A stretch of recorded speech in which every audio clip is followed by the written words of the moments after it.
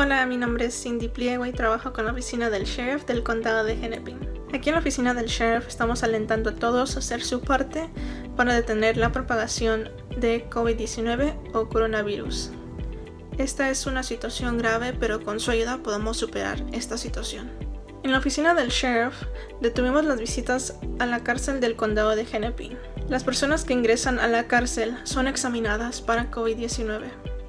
Nuestros tribunales de Richdale y Brookdale están temporalmente cerrados y estamos tomando todas las precauciones para mantener a nuestro personal protegido.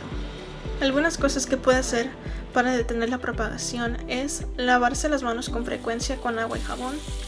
Cuando tosa o estornude, asegúrese de cubrirse con el brazo. También practique el distanciamiento social y si está enfermo, por favor, quédense en casa.